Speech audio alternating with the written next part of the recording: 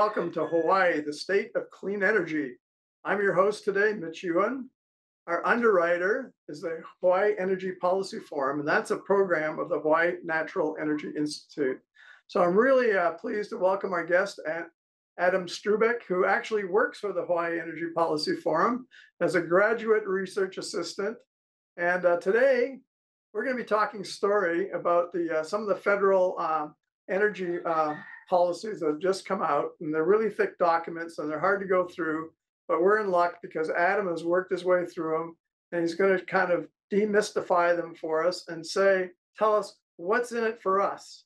And so um, there's basically gold in them there hills, as they say. And uh, to save you all the trouble of having to read through these really complicated bills, like I said, Adam's done all the work. So Adam, uh, welcome to the show. And uh, how about telling us? Yeah, it's great to have you here, and uh, I've been enjoying working with you. So tell us a little bit about yourself, like where are you from, what's your interest in planning and policy, and when do you graduate? That's that's really good to know. Sure. Well, I'm originally from Boston, Massachusetts. Uh, this is my second semester here at the University of Hawaii in the Urban and Regional Planning Master's Program. I've been working for the Hawaii Energy Policy Forum since this August. Uh, so right when this new legislation was passed, and I'm excited to, to get into the federal policy. Good. So uh, let's just get on with it now. I mean, uh, and and start looking at this policy that you've unwrapped. So um, let's uh, go to slide two, and uh, let's talk a little bit about the inflate uh, the inflate what they've called the Inflation Reduction Act. That's kind of a funny name, but what what is it and what does it do? Sure. So the Inflation Reduction Act, um, a lot of people criticize it because they don't think that it will actually reduce inflation. But I think what's more important is that there's lots of energy policy that's relevant to us here in Hawaii in this act. Um, there also includes legislation on corporate taxes, healthcare, uh, energy, and climate. Um, so like I said, we're going to focus on the energy legislation, um, which totals around $370 billion. So that's about $1,100 per person in the US. That's a lot of money.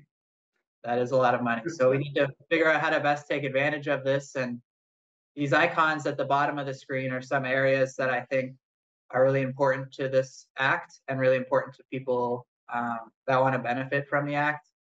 So these are the areas of clean energy, energy efficiency, community resilience, energy storage. Uh, uh, uh, hang on, hang on. So I got to ask these skill testing questions. Like, what what is resilience? Just so people out there might not know what that is. Sure. So when we think of resilience in planning, we're really thinking about how strong a community is to outside stressors. Uh, a stressor could be a major storm, um, even just a simple power outage or a break in supply chains. Um, how is the community bouncing back from these issues and what steps can we take as planners to ensure that communities can come back stronger from um, different problems that they may come in come into contact with. Great. So tell us what what what uh, what are we talking about? When We say storage. What does that mean? Uh, this really means energy capacity. So right now in Hawaii, we import most of our energy in the form of petroleum. Um, and that's because petroleum is really good at storing energy. It's very energy dense. Right. Um, and part of the problem with renewables like solar is that we're not able to use them at nighttime when the sun goes down. So to go against this, we need really good energy storage so that we're able to access energy whenever we need it and implement it into our transportation and commerce systems here on the island. Right. And, and so just a few words about environment. We all know what the environment is, but environmental stuff. Right. And I think the environmental aspects of the Inflation Reduction Act are really important. Um, there's a lot with emissions and clean air. So really about protecting the public goods that that everyone enjoys, um, but doesn't necessarily have a stake in what happens. Um, so there's a lot of legislation that we can get into that deals with uh, regulating pollution and protecting the environment. So these are all good issues that everybody should support, like who, who, who would be against the environment or resilience or, you know, clean energy, etc. So let's uh, go to the next slide. And uh, I mean, part of the uh, mechanisms they use are tax incentives. And uh, so that means modifying the tax code. So how about educating us a little bit about what they say about the tax code in the in the, in the legislation? Great. Well, the Inflation Reduction Act works in primarily two ways. Um, one is by modifying the tax code to include production credits and investment credits. And the final way is through direct funding to agencies for grant and loan programs. Um, and some of the other aspects of the act include modifying corporate taxes. So some of this new money that is being um, gained from taxing corporations will go into these production and investment credits. So both uh, both individuals, like individual, you know, homeowners and uh, residents, can tap into it, but also our businesses uh, can also tap into this. So it's good for business. So like, if you're a business out there and you want some uh, financial relief or credits for what you do, uh, you should uh, dial into the H- HEPF website and see some of the work that uh, Adam has done to make it easier for you to figure out what kinds of areas you could uh, qualify for. So let, let's look at those agencies though in the next slide, slide four. So tell us about these programs, these various agencies. Sure. So the Act actually distributes funding to over 20 government agencies. But these three main agencies receive almost two thirds of the total funding. And those three agencies are the Department of Energy, uh, Department of Agriculture or USDA, and the Environmental Protection Agency or EPA. Um, so the, the DOE or Department of Energy is receiving about 35 billion, the USDA 46 billion, and the EPA 41 billion dollars. So that's a lot Man, of those those are eye-watering numbers. so okay, so let's look at each of those agencies uh, on this slide, and let's look at some of the programs that they're uh, funding.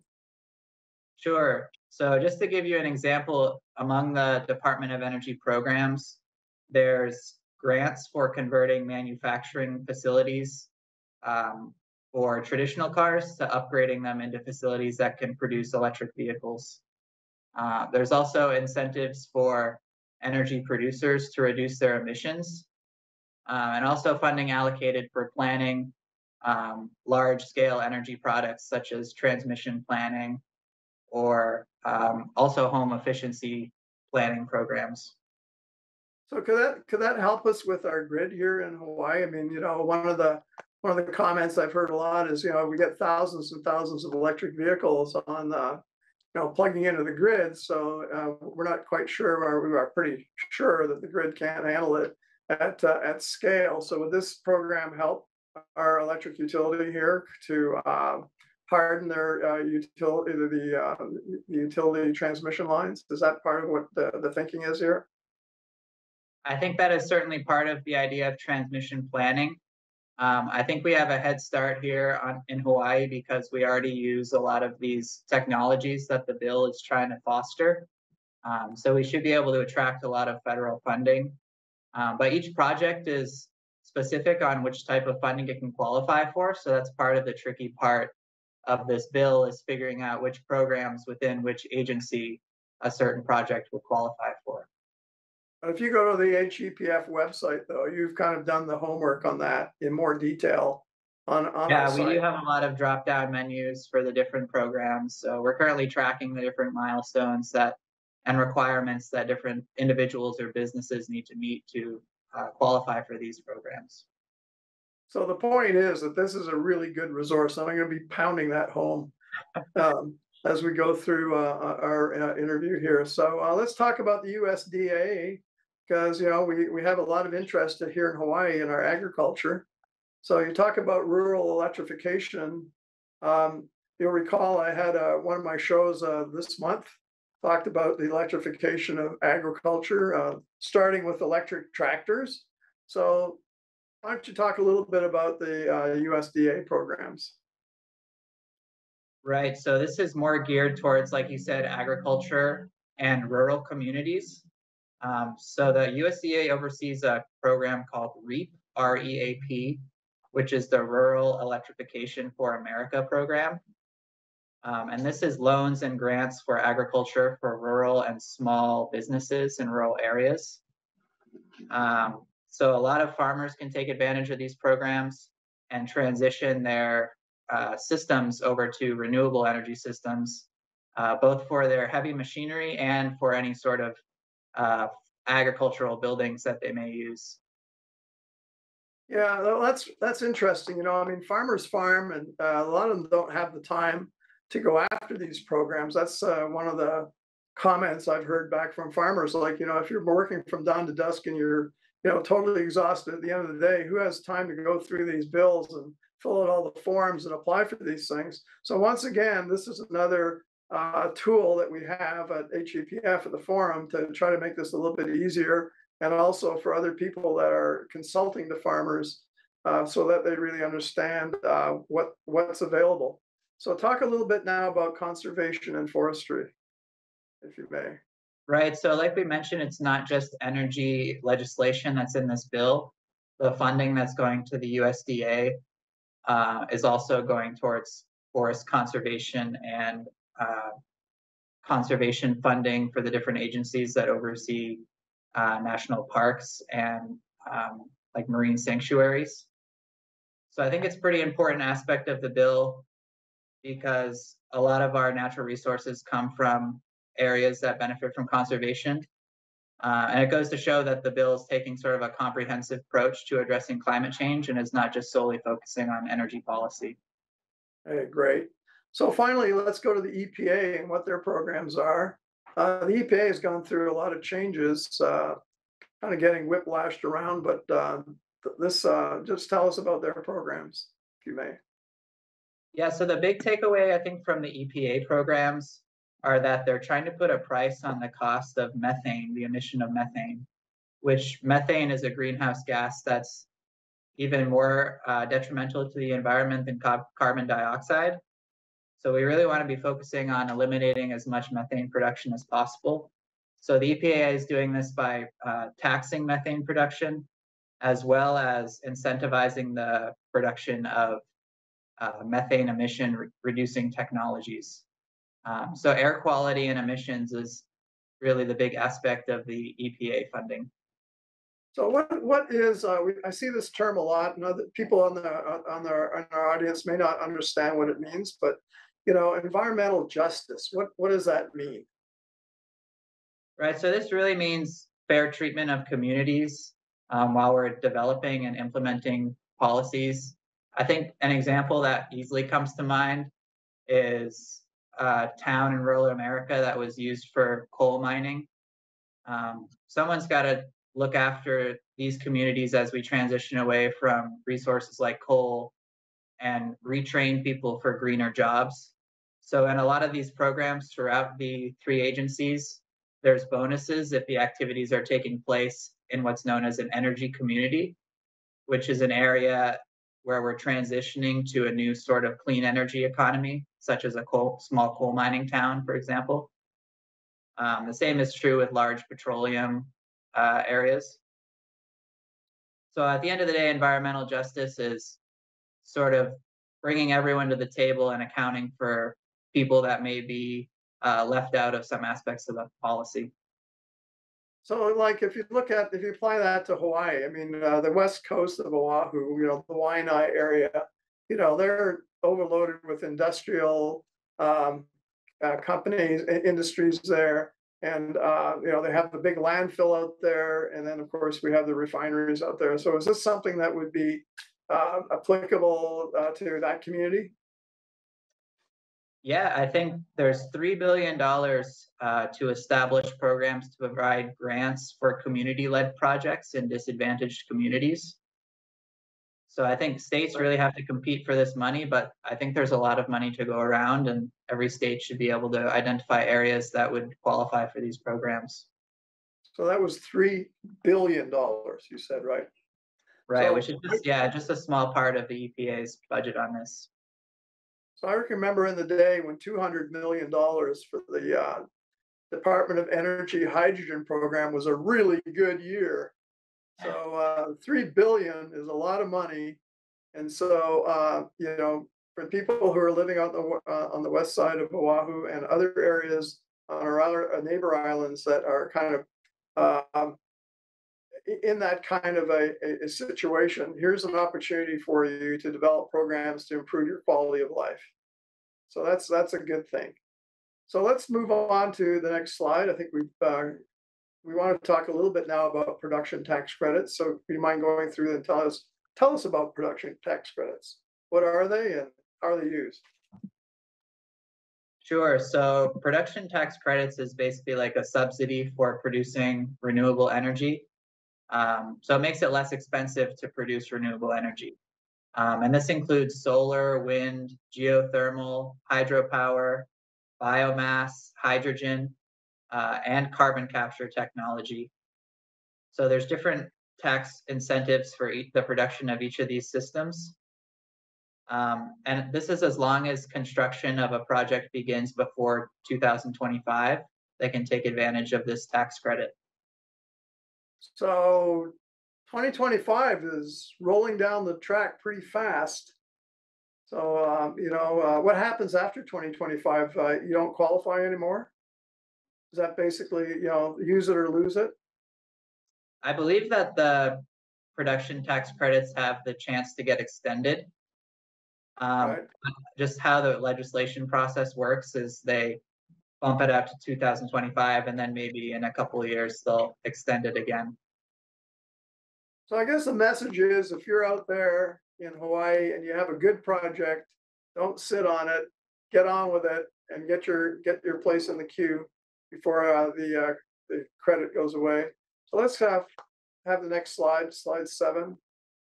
And I'm no, I'm sorry, slide uh, six, which is investment tax credits. So yeah, I threw a, I threw a loop at you there. Yeah, no problem. So investment tax credits, I think, are more applicable to an individual because an individual is the type of person that's likely looking to start a small scale new renewable energy system project, uh, say for their house or business. Um, so for new energy systems, there's a credit for 30% of costs.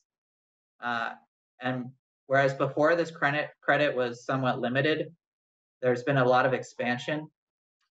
Um, so they've extended the credits to heat pumps and efficiency improvements in the home.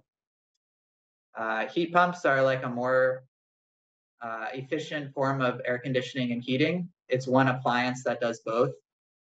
Um, so maybe not applicable to Hawaii where we use a lot of air conditioning, but I think there's some areas of the state that can benefit from both heating and cooling at certain times of the day or year.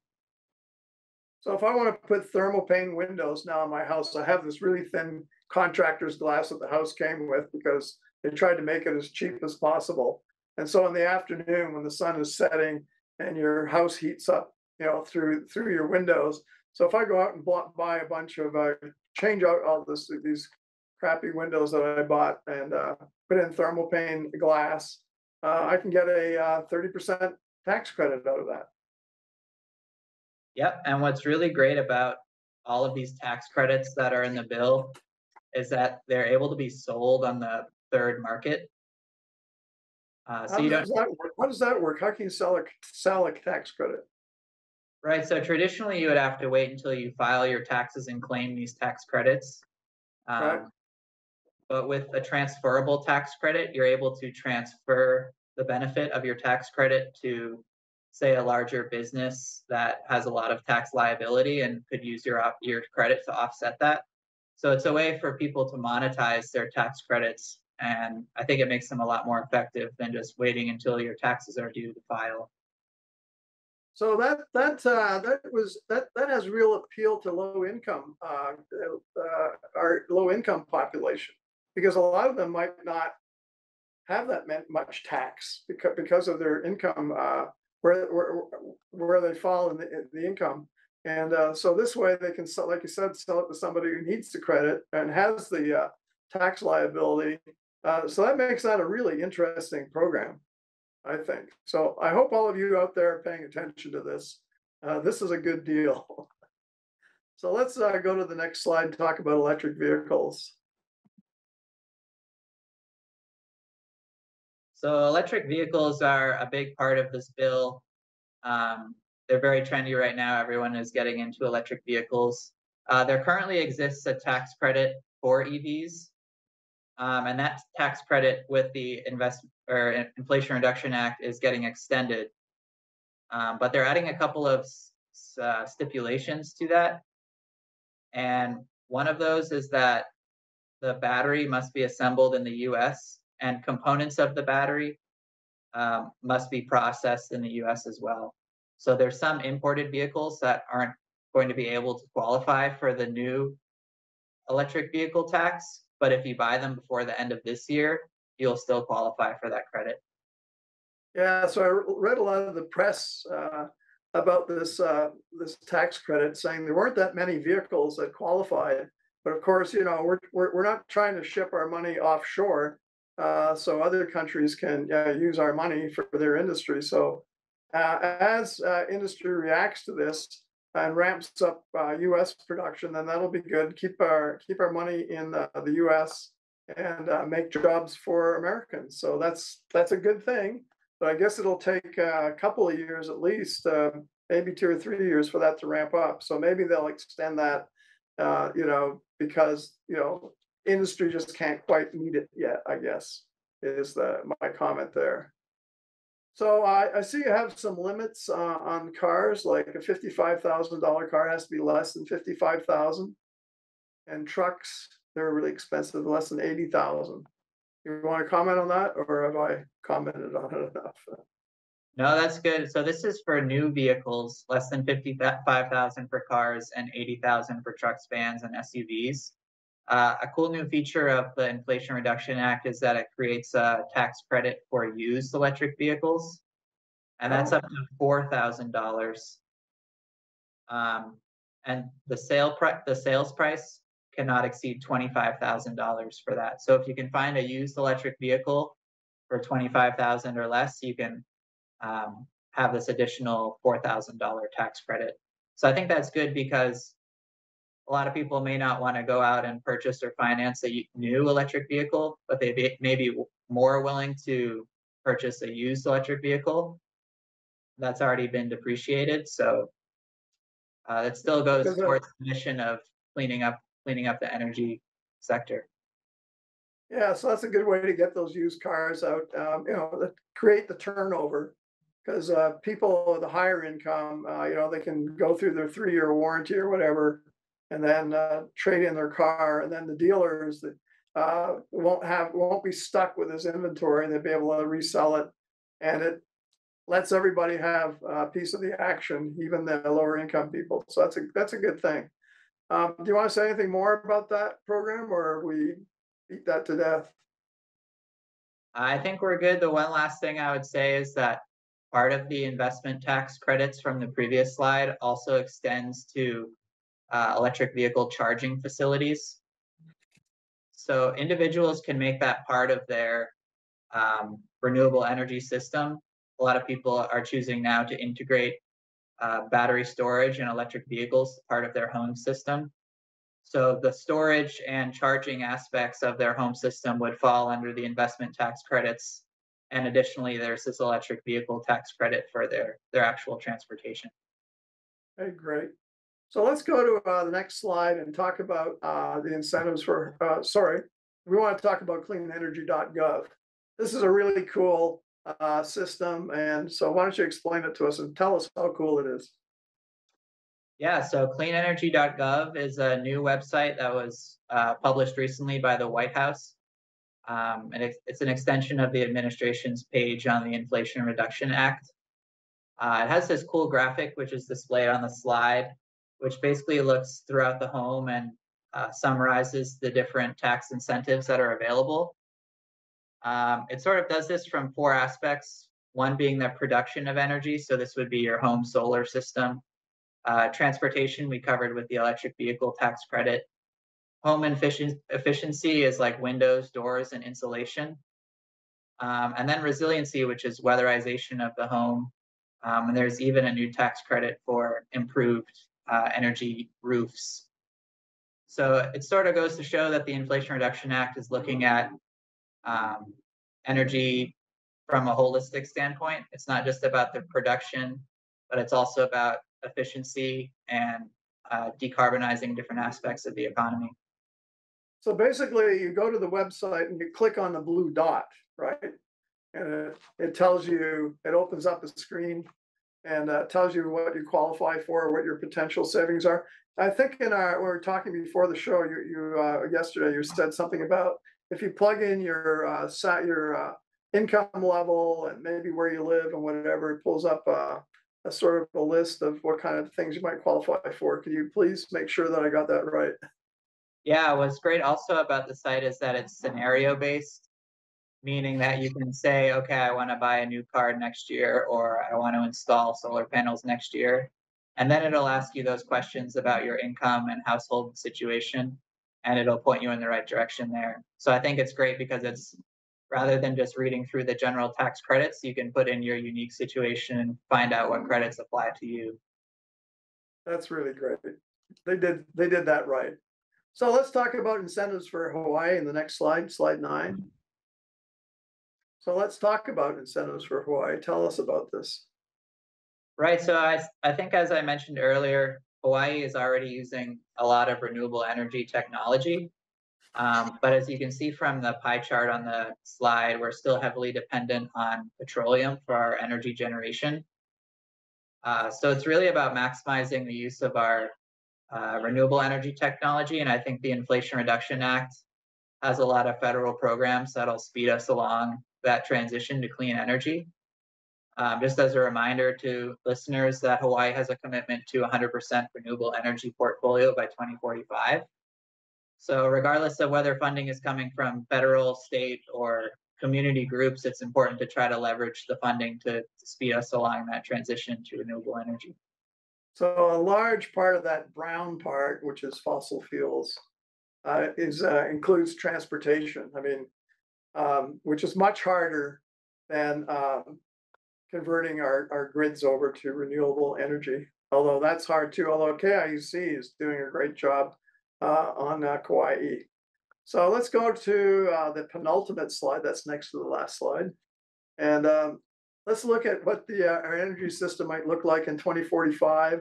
And uh, funnily enough, Hawaiian Electric came up with a, a, a nice little futuristic uh, conceptions program. Uh, we've given you a link to their site, and uh, and uh, I'll stop and let uh, Adam talk because we're here to listen to Adam, not me. Sure. Well, this slide was sort of a conception of what a decarbonized energy system would look like in Hawaii decarbonized meaning not reliant on fossil fuels and not emitting carbon dioxide or other uh, pollutants. So this would rely heavily on geothermal, wind, solar, and hydrogen power. Uh, and those renewable energy technologies coupled with sufficient capacity and storage um, can allow us to use renewable energy for our com commerce and transportation sectors.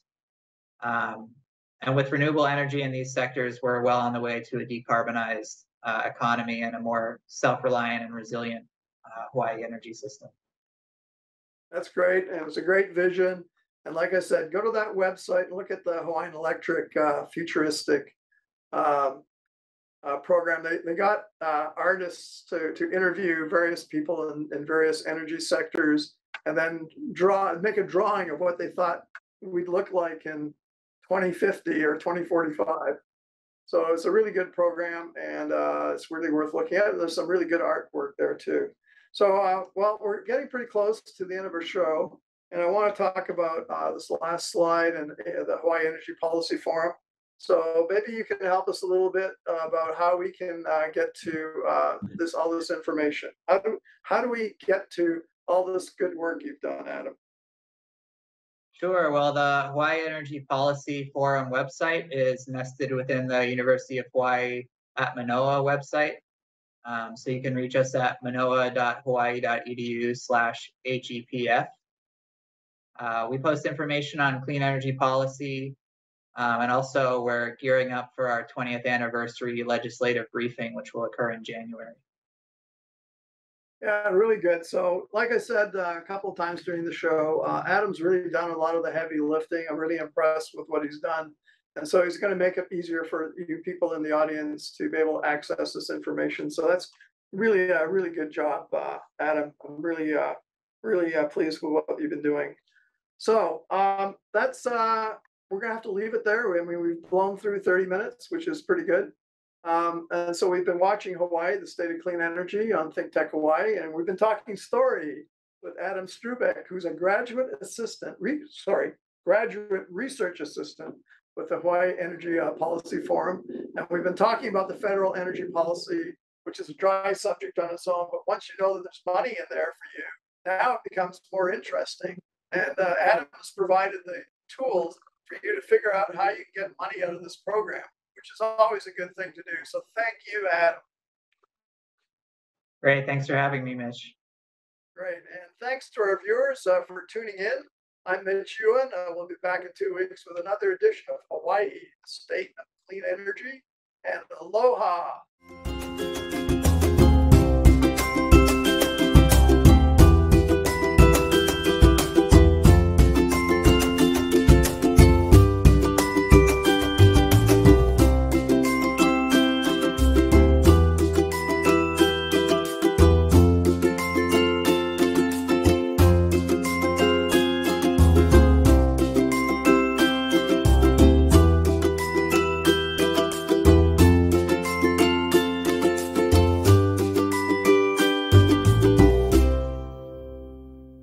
Thank you so much for watching Think Tech Hawaii.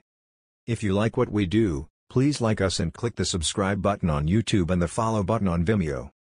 You can also follow us on Facebook, Instagram, Twitter, and LinkedIn, and donate to us at thinktechhawaii.com.